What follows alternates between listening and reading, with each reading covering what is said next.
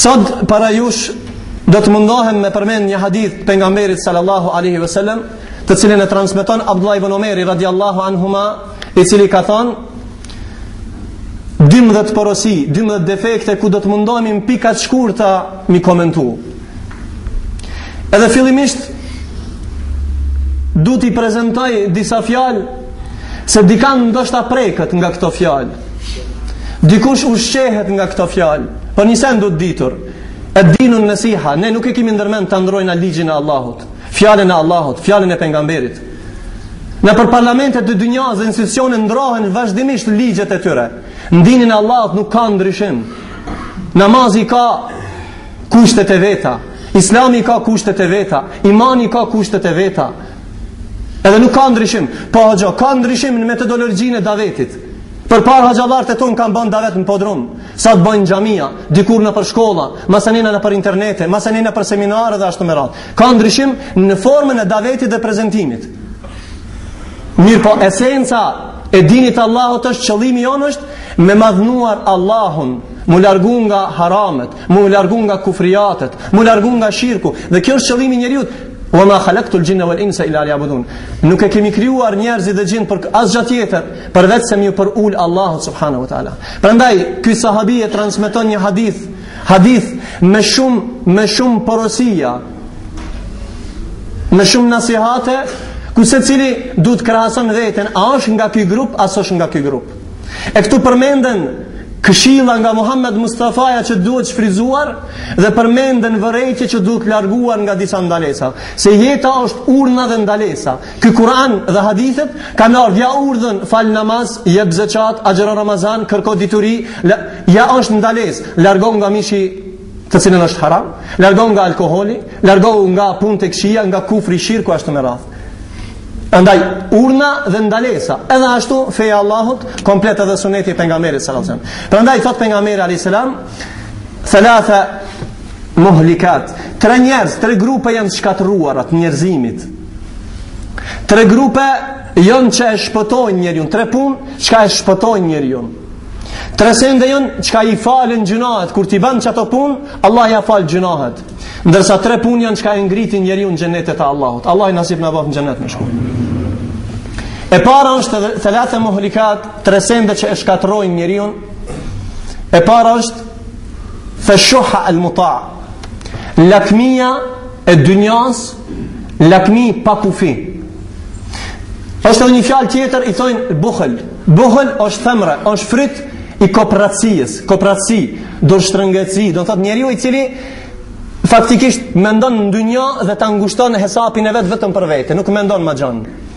A kjo fjalë e shoha Lakmi e pakufizume do të thotë, çdo send që të ka, që të shef përpara ka dëshirë me kanë e tija. Pejgamberi ka pas dëshirë me pas devën e kuqe, dhe sot dikush dëshiron me pas një Mercedes të mirë, këtë në rregull është. Dikush ka dëshirë me pas një pallat, ama ndryshe është me pas një shtëpi gjanë për mi pritë musafirt, vata në nuasi, si ka pas dëshirë pejgamberi sa, ndryshe me i pas pesë pallate dhe kurrë mos me hi n'ta.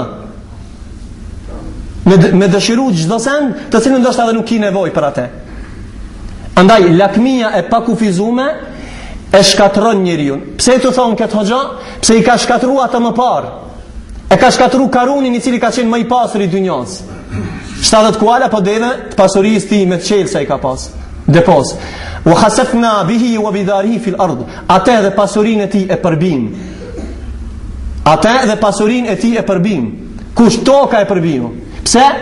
Se e qiti ishte lakmus i dynjas Dhe paraciti krynaltsinë e vet E Allahu i shkatron ata njerëz Të cilët e mushin hesapin e llogarisë të dynjas Dhe ia kthejnë shpinën fjalëve të Allahut dhe ahiretit Prandaj muslimani i cili don të ruhet nga shkatrimi i vetvetes Duhet mos me qenë lakmus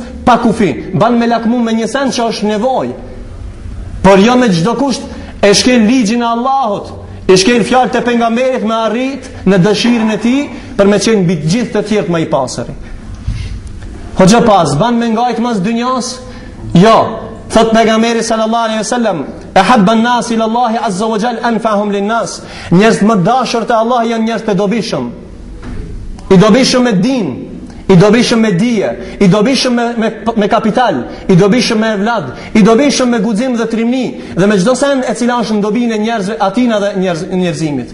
Ma mirë është me qenë i pasur se sa i varfër, dora që jep është ma e mirë se sa dora që merr, mirëpo, po, talebul halali, waxhibun li kulli muslim, kërkimi i hallallit është obligim për çdo musliman, Allahi nuk të pyt çfarë kapitali ke pas në dynja, po të pyt si e fitove kapitalin në dynja dhe si e harxhove. Prandaj, dikush po kërkon dhe luksozi i tepërt i njerëzimit i ka ngursu disa zemra të njerëzve. Kjo zemër që e ka kriju Rabbul Alemini, e ka krijuar për të besuar Allahun, është si një enë siç thotë Ibni Kajimi. Por po në qoftë se e mbush vetëm me dynja dhe nuk le zbrastirë për imanin, për ibadet, për devotshmëri, për frikërespekt ndaj të madhit Allah, e mush me dynja, çka të qesh ajo derdhet. Është e thatë.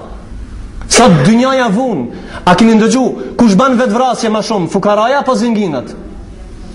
Në këtë krizën globale të madhe të botërore, kush janë tu ba vetvrasje? Janë tu ba milionerat. Pse? Se i ka pas 100 milionë euro, i ka humb 30000, edhe ai duhet me dal para pampurit me ba vetvrasje. Ose dikush litarin, pse? Se thot Muhammed Mustafa, lejse l-gina bi kethretil mal, nuk është i pasër ai që ka veç kapital, i pasër është ai që ka iman, e ai që ka iman, dynjaja sa her ka pas zengina dhe fukara, dhe deri në ditën e kiametit ka me pas zengina dhe fukara. Dynjaja gjithë her ka pas njerës të rangut lartë dhe njerës të rangut poshtë, për po vazhdimisht të ndryshu. Mirë pa, po, besimtari e din se rizku n'dorë të Allahut, Andaj prej sebepeve të riskut, kush don të i shtohet risku dhe bereqeti, le t'i kthehet fesë Allahut, le të ban namaz, o amma men khaf. Wa man yattaqillaha yaj'al lahu makhraja. Dhe kush ka frikë Allahun, Allah e ja çel rrugë dhe jep rrisk prej ka se pret ai. E ai çka thotë unë kam frikë Allahun, ai duhet me ardh në xhami. Kush u ka thirr ju me ardh në xhami sot? Kush u ka thirr me ardh me i dëgju fjalët e Allahut? Imani, a ka ndonjë interes të dynjas? Kjo është kapital dhe bagazh që e merr me vete. Në atë ditë kur do dalish para Allahut, nuk ban dobi as malli as evladi, po ban dobi veprat e mira, ban dobi sadakaja e rrjedhshme, ban dobi ilmin të cilin kanë pas dobi njerëzit, ban dobi evladi i cili waladun yad'u lah, ban dobi evladi i cili ban dua për ty. Ai është kapital. Prandaj dikush mos mendon se është i pasër dhe ka lumturi, thotë i madhi Zot, Wa man arada an dhikri fa inna lahu ma'ishatan danka. Ata që ia kthen shpinën fjalëve të Zotit. E shumica e njerëzve që ia kthen shpinën fjalëve të Allahut është dëshira e flakt për të arritur në cifra astronomike dhe harrimi i fjalëve të Allahut ose kthimi i shpinës ndaj fjalëve të Zotit. Por Allahu për ata që ia kthen shpinën fjalëve të Allahut, çka thot?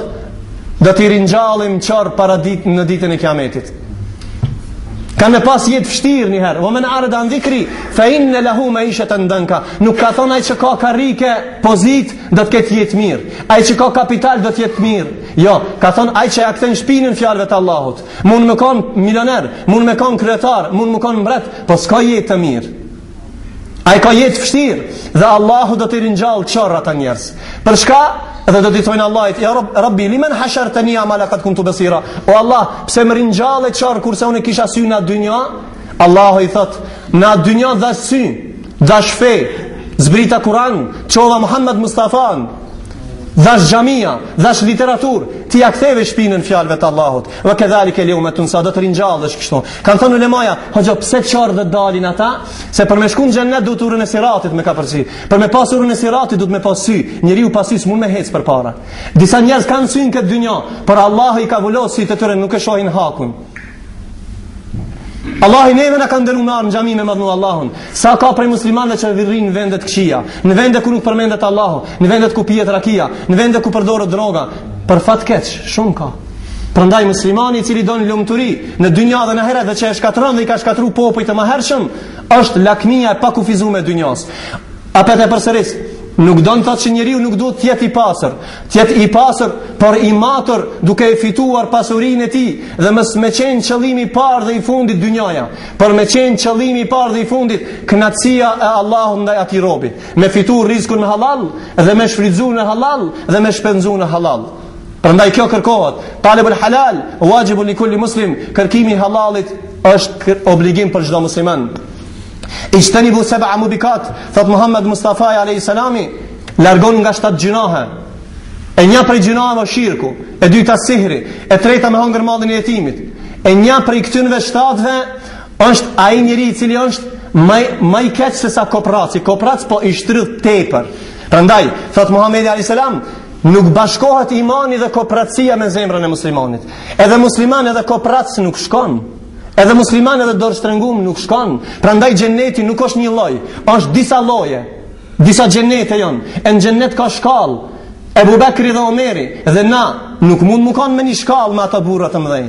Ebu Bekri është dalluar me sinceritetin dhe besnikërinë e tij, dosllëkin e tij, kurbanllëkin e tij në dinin e Allahut.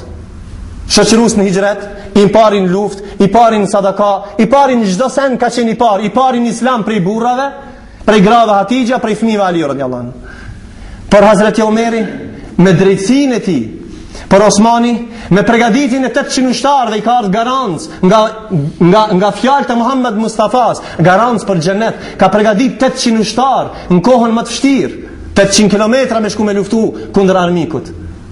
E, a, e ka, si e ka fitu xhenetin? E ka fitu nëpërmjet sadakas, dikush nëpërmjet diturijës. Allahu nuk i ka thonë, krejt me u bo, nuk mund me u bo krejt të dijshëm, ne krejt zengina, krejt trima, ama këto janë dyer të cilët njeriun e çojnë n'xhenet. Allah i ka pregatit derë xhenetit nëpërmjet agjërimit, derë nëpërmjet sadakas, derë nëpërmjet diturijës, derë nëpërmjet burrnijës. Atëherë thojna, ku jemi na, A moj, a japim sadaka? A mirremi me dituri? A mirremi në namaz nafile? Dhe dita e ardhshme, a është ma e mirë se një e kaluar? A do me konë, çdo herë ti e ma tefterin me veti, dhe llogarit sa ki në konton tane vazhdimisht. A e harron një konton, anën e djathtë melaqe që shkrujnë, sa sexhde ke bo sot? Sa vepra të mira i ke bo sot? Sa punë të hajrit i ke bo sot? Për rizat Zotit, kush asht do të ndalë? Ty dhe mu dhe shumë njerëz. Vallahi, asht do të ndal lakmia e pakufizume e dynjas. Prej shenjave të kiametit është hubbu dunya wa karahiyatul maut. Me dash dynjan dhe me harru ahiretin. Kur kët luksuz shqiptar dhe musliman nuk e kanë pas në të kaluarën, ma shumë se sot.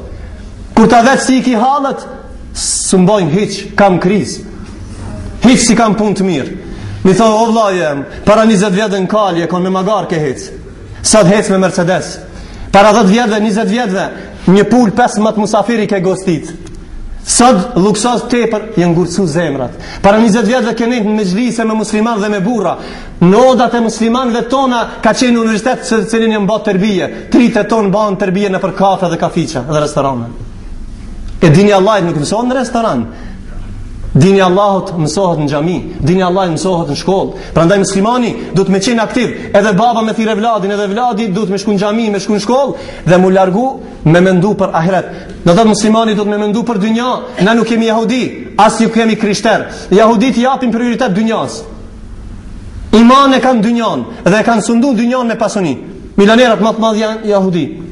Krishterët nëpër katedrale apo te kisha aspekti shpirtëror.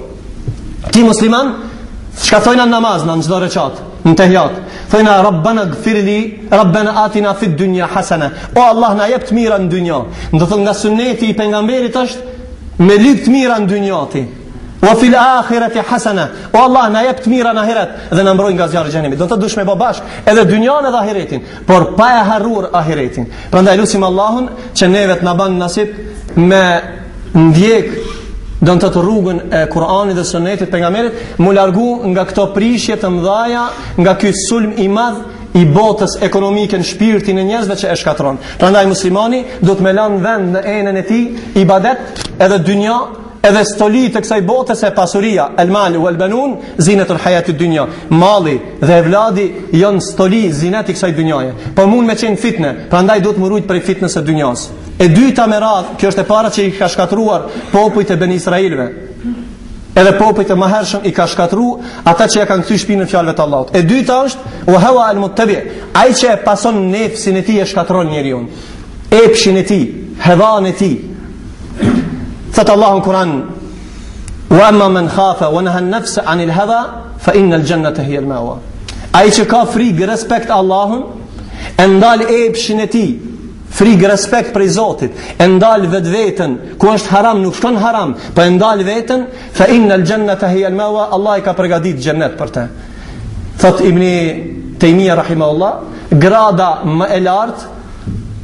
e muslimanve është ai i cili e run veten prej epshit. S'mund ti me pasu epshin dhe me konë musliman i mirë. Dhe ti me lëshu vetveten pa, me, me pas pa kontroll. Jo, andaj muslimani duhet vazhdimisht mos me përcjell epshin e tij po me ndal aty ku ndal wa la tettebi el hava fa judilleka an sebililla mos paso epshin tan se ajo të largon nga dini i Allahut Prandaj ne jetojmë në formula t'Kur'anit dhe Sunnetit. Ku është halal punojna, ku është haram ndalemi. Allahu ta ka bo haram zinanë. Allahu ta ka bo haram punë që i ka ndalu n'Kur'an. Mos paso nefsin tan, epshin tan. Andaj shtat grupe do të jenë në hijen e Allahut, një prej tyre është ai i cili e thirr dikush në prostitucion zina, thotë unë kam frikë Allahun Zotin e botrave. Nuk ka thënë mos bon zina, ka thënë mos iu afro. Çka është tu e shkatërru sot rinin ton? Pasimi i epshit, A don xhennet? E po nuk mundet edhe zinaxhi edhe xhennetli. Nuk mundet me i ba qejf ti vetit vazhdimisht me pasu rrugën e shejtanit dhe me thonë unë jam prej imanlive. Jo jo, rastësisht është i përmend rasti i Jusufit a.s. Inni e khafë Allah, inni e khafë Allah rabbel alemin. Unë kam frikë Allahun zotin e botrave. Prandaj i ri në veçanti i ndershëm. A ki problem me epshin? E ki ilaçin n'Kuran dhe në sunet? Ka thonë martoju. Ja mashar ash-shabab man istata'a minkum al ba'a falyatazawwaj. O ju të ri kur kish, si të kish mundsi martoju. S'ki mundsi atëher maj Ramazan e ruju nga harami. Ama njeriu i cili shkon në xhami edhe fal namaz, Allahu e mbron nga harami dhe zinaja. Inna salata tanha anil fahsha, namazi largon njeriun nga veprat e këqija. E pej veprave të këqija është zinaja. Prandaj ti vëlla i ndershëm, a don dhe ti babi i ndershëm, a don me rujt dhe me pas një gjeneratë t'shnosh, Ruje nefsin tan dhe evladin tan. Dikush thot, hoxhë po unë i ruj çikat, nuk i lâ me shku nëpër plazha, nëpër harame, nëpër kafiça. Ama djemtë shkojnë. Po nisa jo vëllai jem. A djali a çika është evlad, ka xhenet dhe xhenem edhe për ata. Se ai kah është tu shku, asht tu shku me ba zina me dikan tjetër. Kush është ai? Është gruaja, është motra, është nana e dikujt. Prandaj ndalohet kjo rreptësisht. Djal apo vajz nuk ka dallim, duhesh me rujt evladin tan prej haramit. Gjeneratë t'shnosh Me të rinj të shëndosh, me iman, nuk ka gjeneratë të ardhshme t'shnosh, në qoftë se ata nuk janë burra dhe nuk i mbrohen haramit. Prandaj, prej çelsit të dytë është njeriu me rujt vetëveten nga harami, mos me pasuar nefsin e tij. Prandaj, pejgamberi a.s. ka përmend hadithe të shumta dhe ka ardh n'ajete, Allahu i ka shkatërruar ata njerëz ma herët, të cilët e kanë pasuar nefsin e tyre. Ai që don me pas Frigë respekt me dal faqe bardh para Zotit, duhet me pas frigë Allahun dhe mos me pasu nefsin e tij. E treta me radhë që e shkatërron njeriu, i'xhabul mar'i bi nafsihi, njeriu me qenë i dashuruar në vetvete. Kjo është pjesë e kryelartësisë. Thot Muhammed Mustafaja, la yadkhulu al-jannata man kana fi qalbihi dharratun min kibr. Nuk do të hyjë në xhennet dikush që ka sa një grimcë të kibrit. Mu kanë i dashuruar n'vetvete. Kush janë më dashuruar n'vetvete? Ai që është në karrike, Ai që është i dijshëm, po jo për hir të Allahut, dhe ai që ka kapital. Shumica e njerëzve tregojnë, s'ka mbi mua më i meçmi, më i aftë dhe u bitis. Nuk ban me thonë njeriu kështu. Nuk është prej Islamit kështu. Prej Islamit është me qenë modest. Ai që ka kapital që Allah e ka nderu, nuk ban me qenë kryelart, që Allah e ka shkatru, thash karunin më herët. Vallahi, unë i di disa tregtarë kanë qenë milionera në vitet 95, 96, 7, Sot janë minus 2-300 mijë euro cifra dhe janë për burgje. Allah e ndryshon gjendën e njerëzve. Andaj mos u bën kryelart se Allahi shkatron. E mira Allahu nuk është aftësi që jep njerëzve pse dikush është i aftë dhe ka fitu. Rizki është n'dorë të Allahit, kujtna don i jep Allahu rizk dhe kujtna nuk don i jep. Nuk i jep. Andaj nuk është aftësi e njerëzve. Ka njeri i cili nuk është i shkolluar, nuk ka dije, nuk ka, Allahi ka dhënë bereqet. Dikush është doktor, profesor i ekonomisë, po është i varfër. Pse se Allahi ka thënë, "Huwallahu yabsutu rizqa liman yasha." Rizku n'dorë të Allahit, kujtna don jep, kujtna don nuk jep. Andaj mos mos çallamitë dikush me thon s'ka mbi mua, un jam më i aftë, i kam cifra astronomike. Mos habitë dikush me thon un jam doktor i shkencave. Ka doktora të shkencave nuk e din kiblën. Ka doktora të shkencave kurrë nuk e ka shfletu Kur'anin. Ka doktora të shkencave kurrë nuk nuk din për Muhammed Mustafan. Ai nuk është i dijshëm. Një plak e tha një fjalë shumë të mirë. Një shqiptar i cili jeton në Turqi. Tha vallahi unë jam më i meçëm. Aty në mexhlis kishte doktora, magjistra, ku ta di unë, njerëz të shkollum. Tha, pse? Tha, vallahi unë jam më i meçëm. Pse tha, i besoj Allahit. Nuk i bëj kufër dhe shirk Allahut. E fali namazin. Atë sa kam dije, kam frikë Allahin. Po shka tha? Unë jam më i meçëm se këta që kanë shumë shkollë dhe nuk e njohin Zotin e tyre. Andaj ka milion njerëz në botë t'shkollum, po nuk e njohin Zotin e tyre. Allah nuk i ka udhëzuar ata. Prandaj kapitali i veçantë dhe më i shtrenjtë është udhëzimi në rrugë t'Zotit. Allahi mu dhe ty na ka nderuar me qenë pjesëtar të kiblës Muhammed Mustafas. Allahi mu dhe ty na ka dhënë nasip me marr vesh se çka po e shkatrojka njeriun. Lakmia e pakufizuar, pasimi i epshit dhe e treta mu dashuru n'vetvete. Innahu la yuhibbul mutakabbirin. Allahi nuk i don njerëzit kryelart. Andaj prej Islamit është njeriu mos me qenë çka? Mos me qenë kryelart. Do të mundohem ta shkurtoj. Pikat e dyta me radhë Këto janë tre sende që e shkatërrojnë njeriun. Tre çka e shpëtojnë njeriun janë fal adlu fil ghadabi war rida. Njeriu mu kan i drejt. Po kur mu kan i drejt, edhe i hidhrum kur është, por edhe i gëzum kur është. Se zakonisht njerëzit kur e humbin kontrollën, nuk gjykojnë drejt, nuk janë të sinqertë dhe të drejtë. Allahu në Kur'an na ka mësuar dhe ka thënë inna Allahu ya'muru bil adl. Allahu urdhëron në drejtësi. Edhe musliman, edhe mos mu kon i drejt nuk shkon. Edhe musliman, edhe rrenacak nuk shkon. Edhe musliman, edhe dallaverxhi nuk shkon. Muslimani duhet mu kon i drejt. Po pse ka përmend fil ghadab se njeriu kur është i hidhur e komandon shejtani. Prandaj muslimani i cili don të mbrohet nga hidhrimi, kur e humb kontrollin, mos më fal hoxhë se jam i nxehtë unë shumë. Çka i thonë jam i nxehtë? Të ka hin shejtani, pse se shejtani e ka prejardhjen prej zjarrit. E ai qarkullon trupin e njeriut sikur gjaku që qarkullon, qashtu qarkullon trupin e tij. A do vlla i ndershëm ti me rujt vetveten nga kjo smundje? Po, fal namaz dhe merr abdes. Abdesi me çka mirret? Mirret me uj. E uji pe shkimka atë dhe pe qetsojka njeriun. A në veçanti kur dush me gjyku diçka, dush mu kon vazhdimisht muslimani i drejt, po në veçanti kur është i hidhrum ose, ose kur është i gëzum. Prandaj nga muslimani kërkohet që në qoftë se don të jetë i shpëtum, duhet mu kon i drejt. Thot pejgamberi alejhi selam shtat grupe nën hijen e Allahut, një prej atyre është imamun adil, udhëheqësi i drejt. Por kjo vazhdon edhe për çdo musliman, duhet mu kon i drejt. Musliman i shtremt nuk lejohet. E dyta në radh, wal qasdu fil fil faqri wal ghina. Muslimani duhet me qenë i mesëm edhe në pasuri edhe në fukarallëk. Nuk ban me kukat. Po vazhdimisht duhet me falënderu Allahun në gjendjen që është. Pse se dynjaja ka dy fytyra, Ka ftyrën e gëzimit dhe hidhërimit, i pasur apo i varfër, i dishëm apo injorant i padishëm. Vazhdimisht njerëzit kanë nevojë për njëri tjetrin. Por ai që është i dishëm, duhet me i prezantu davet dhe dije njerëzve që nuk kanë dije. Ai që është i pasur duhet me i kontribu muslimanëve që kanë nevojë për ndihmë. Ai i cili është i shnosh i ndihmon atij t'smutit, ai i riu i ndihmon plakut. Dhe vazhdimisht këto janë lidhshmëri që ka pas çdo herë historia dhe dej n'ditën e kiametit ka me pas njerëz të tillë. Andaj, muslimani, kur Allahu i jep të mira, nuk ban me kukat, nuk ban me, me ngrit kryelartësi, po thot, elhamdulillahi rabbil alemin. A don me t'u shtu e mira ty, thuj, in, thuj elhamdulillah, in shekertum le ezidennekum, në qofë se falëmdroni Allahun, Allahu i shton të mirat, në qofë se i mohoni, Allahu ka pregaditur zjarr, ka përgatitur dënim të madh. Prandaj muslimani, edhe musliman, edhe kukatxhi, me kukat nuk guzon, po duhet me falëndrua Allahun. A ke harruar se pejgamberi në mesin e natës ka dalë në rrugë të Mekës? Ebu Bekri dhe Omeri prej unësies ka thënë çka të nxjerri ty në rrugë, thotë m'nxjerri ajo çka ju nxjerri dhe juve. A keni harruar se Muhammed Mustafaja i ka pas armiq 3 me 1, 10.000 me 100.000, ka luftu kundër superfuqive të dynjas,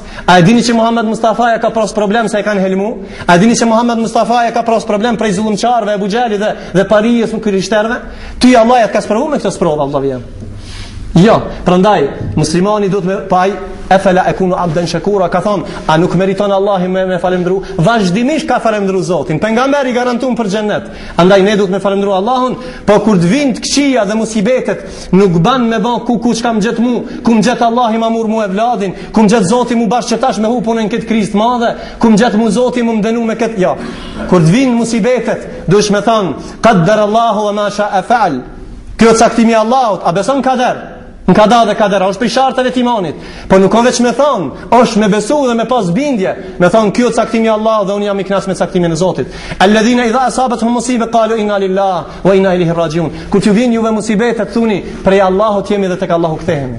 Kështu e ka natyrën muslimani. Kur i vin të mirat, falëndron Zotin. Kur i vin musibetet, osht sabërli. E Allahu për ata që bëjnë sabër, ka përgatitur xhennet. Thot i madhi Allah, ata të cilët bëjnë sabër për hir të Allahut, ata kanë shpërblim pa hesab, bi ghairi hisab. Inma yuwaffa as-sabirun bi ajrihim bi ghairi hisab.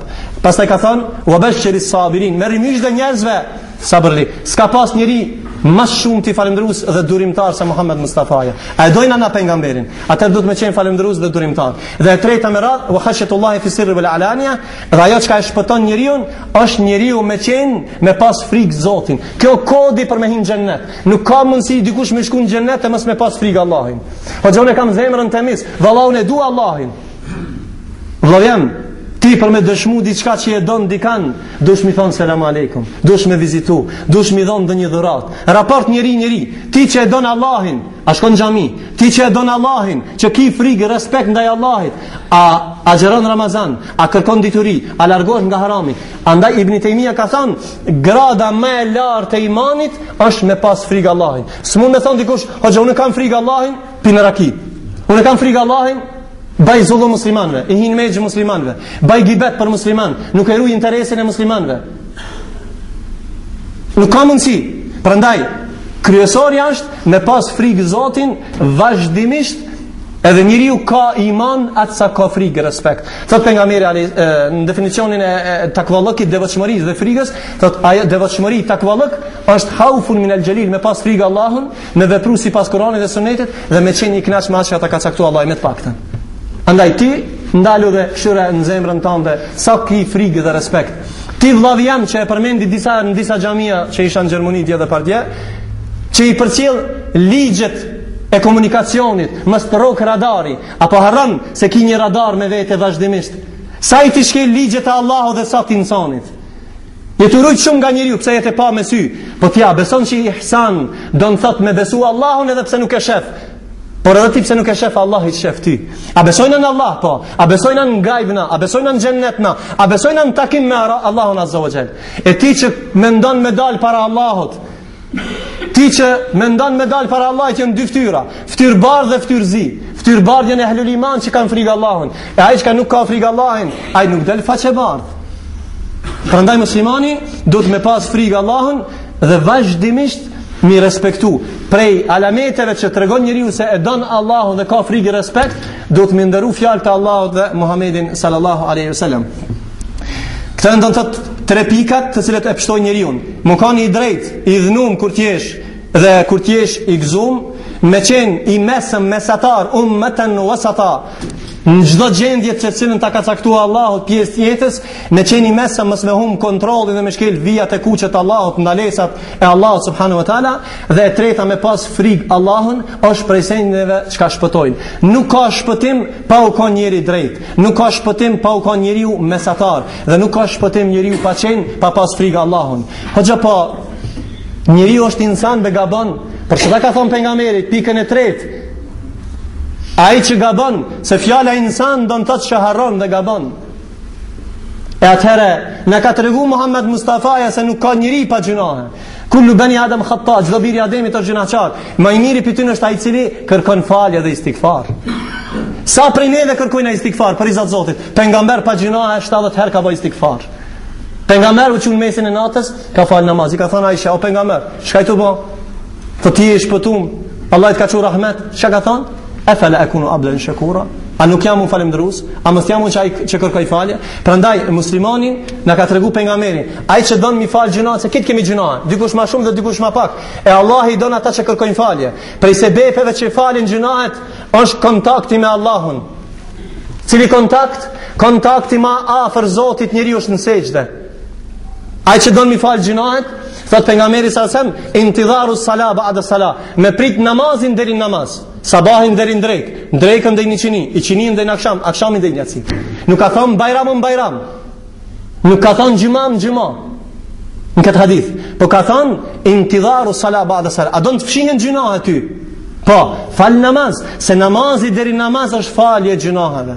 E ti që e ki kreditin full me gjynahe, edhe nuk fal namaz, qysh po don me t'i fal gjynahet? Nuk ka falje gjynaheve pa namaz. Nuk ka iman dhe islam, nuk ka nuk ka nuk ka xhennet dhe mëshirë për ata që nuk falin namaz. Njeriu shkon në xhennet pa pa pa Ramazan, pa zeqat dhe pa haxh. Se s'ka pasuri, s'ka shnet, s'ka pasuri dhe shnet, ka o thot Allahut, o Allah s'kum pas pasuni me dhon zeqat. Ama pa shahadet dhe namaz nuk ka arsye, o vëlla i dashun. Mos mundohet dikush me gjetë arsye, se pasha Allahin nuk ka arsye për namaz. Prandaj me fal namazin është stub prej stubave të imanit. Ka xhami me 10 stuba, shtëpi, pallat, me 15, me 20. Ama pa stuba nuk ka në dynjo. Edhe islami pa këto dy stuba nuk ka hiç. Ma s'mirë jan me i pas pesë, sa ma fort. Ama pa dy nuk ka xhennet. A sidomos, masi shehadeti o ma letë me thonë dhe me pas bindje, ama namazi është pra, prandaj, namazi është garancë e cila të largon nga e keqja, inne salate tenha anil fahsha A do me t'i falë gjynahet, falë namaz Namaz është garancë që të largon nga e keqja Garancë për në xhennet Thot Pejgamberi alejhi selam, Allah azze në Kuran Në suret el mu'minun, kad eflehal mu'minun Shpëtum janë ata që ka falin namaz Me frigë dhe respekt Je në kontakt me Allahun Je në sexhde duke e madhnu Allahun Nuk ka ftyrë ma të ndritshme se ftyra e cila i banë sexhde Hoxhë pse po thu ftyrë e ndritshme Se na ka thonë Allahi Ata që banë sexhde Fi vuxhuhihim Në ftyrat e tyre Kanë Kan nur, kan dritë. S'mund me dalë faqebardhë para Allahit pa sexhde. Andaj njeriu ma s'afërti Zotit është në sexhde. A don me kanë afër mëshirës Allahut, ban sexhde. Kështu na ka tregu neve historia islame dhe ulemaja, që një burrë i madh në kohën e tabiinve, ka bo dua Allah ma ban nasip një vdekje të mirë. Për vdekje të mirë, ka bo dua në sabah edhe në aksham, p'i mshoj si shkurt, në fund thot o Zot, ma ban nasip një vdekje të mirë. Allahi e sprovon me smundje dhe trupi i tij nuk lëviz. E nin ezanin, e i thot djemve t'vet, merrmëni edhe çomni n'xhami me leste. E çojn në xhami, i than babës vet, o, o bab, nuk ki nevoj se Allah nuk, ka, nuk ta lyp këta prej ty. Dush mu falë në kam, s'ki mundësi falë ulun, s'ki mundësi në kokërr shpinës. Ama çka banë? O, thot vallahi, unë me këtë vesh që më ka kriju Allahi, e ndëgjoj ezanin, Nuk ban pa shku në xhami. E morën në xhami, filloi me fal namazin recatën e parë, filloi dytin në sexhden e tretë, në sexhden e fundit e dha emanetin. Thojnë ulemaja, vesxhud vekterib, kjo është ajet. Ban sexhde afër Allahut, një, e kjo është vdekje e mirë. Thojnë ulemaja, ja bani duanë kabull Allahi këtij burrit të madh. Me vdek në xhami, me vdek në sexhde, me vdek në ibadet, dhe me vdek në kafe dhe në drogë dhe në raki nuk o njësoj. Wala tamutunna illa wa antum muslimun. Mos vdisni asesi vetëm se si musliman. Prandaj Allahu nuk e tradhton robin. Je besnik ndaj Allahut. Je në kontakt me Allahun. Allahu nuk e humb kontaktin me ty. E ke kput kontaktin me Allahin, edhe Allahu do ta kput kontaktin me ty. Prandaj, vëlla i ndershëm, a don që ti të jesh i shpëtuar po? Fal namaz se t'i fshin gjunahet, të mbron nga e keqja, të afron afër mëshirës së Allahut. Mund të flasim edhe shumë shumë mesele. Shumë njerëz pyesin, "Hoxha, po unë nuk kam mundësi me fal këtë namaz ose atë namaz?" Nuk ka arsye përveç tre njerëzve.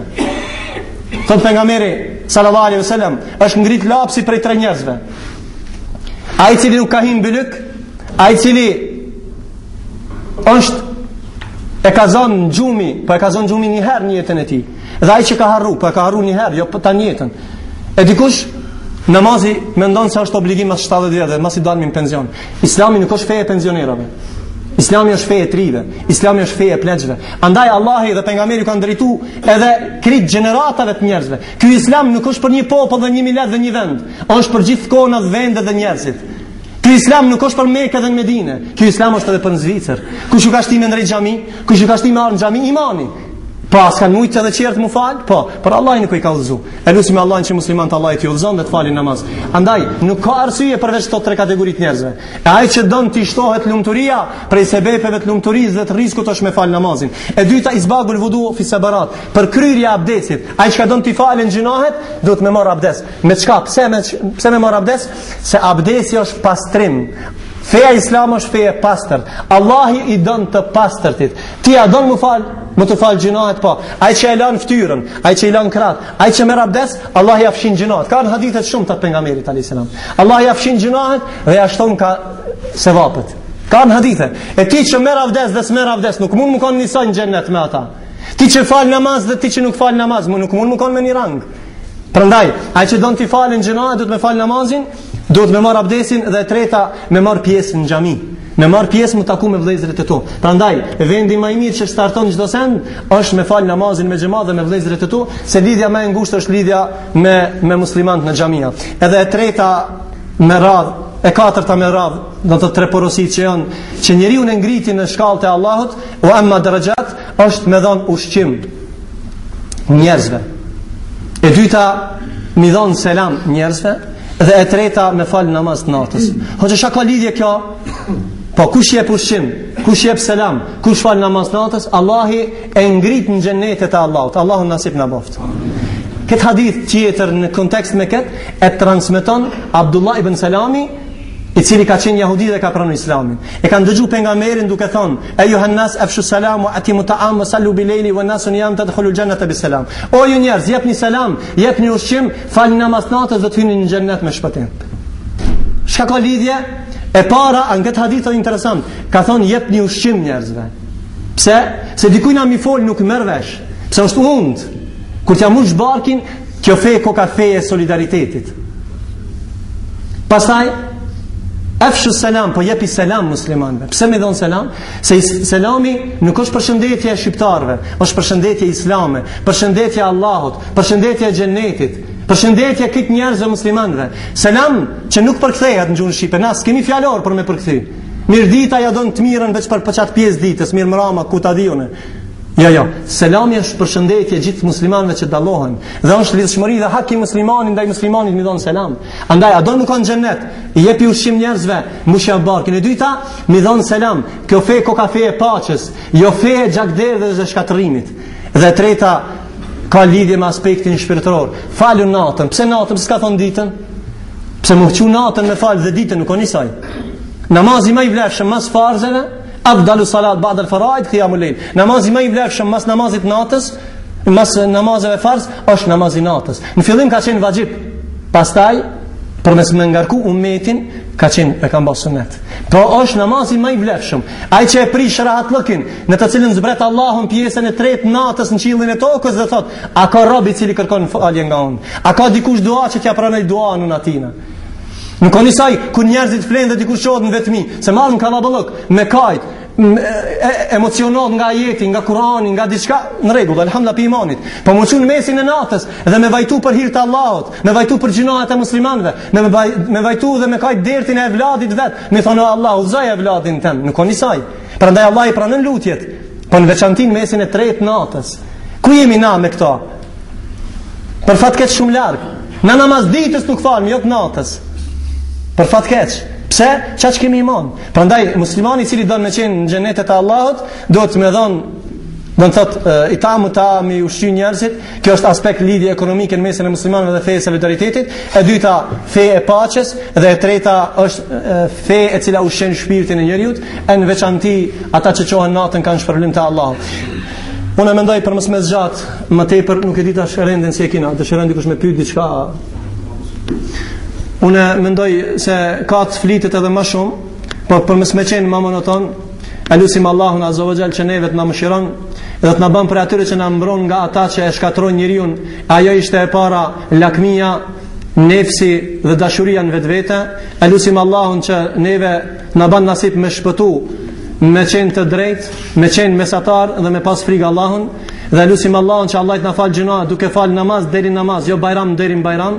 E lusim Allahun që nasip të na bën me qenë me abdes vazhdimisht e në veçanti i riu i cili ka problem me epshin me qenë me abdes ajo e mbron njeriun nga, nga harami dhe me qenë në safin e muslimanve dhe me vllezrit e tyre duke e kthyer Allahut azza ue xhel me lutjet e tija të sinqerta e ata që kërkojnë lutje nga Allahu Allahu nuk ja kthen lutjet bosh Wa qala wa qala udu wa qala rabbukum ud'uni astajib lakum dhe thotë Allahu thirrmëni mu se unë ju përgjigjem e lusim Allahun që ne të kërkojmë nga Allahu që Allahu të na fal gjynahet të na bën nasip të jemi human ndaj vëllezërve tanë të japim selam dhe të lidhen zemrat tona dhe të falim namazin me frikë dhe respekt e kulu kauli hadha aty ku e kam qëllu është prej Allahut aty ku kam gabu është prej mua dhe shejtanit